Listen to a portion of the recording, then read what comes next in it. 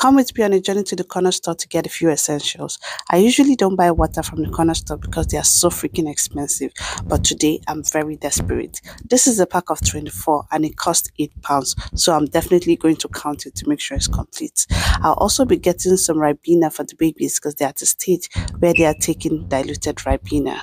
Aside this, carbonated drinks are one of my go-to. I know it's not healthy, but here I am. Some cotton wools because we're out of that also, and we're also out of um, baby powder. I can't leave the store without getting some TGIF package for mama and dada. Of course, we won't be taking it at the same time because someone needs to take care of the babies. See you guys.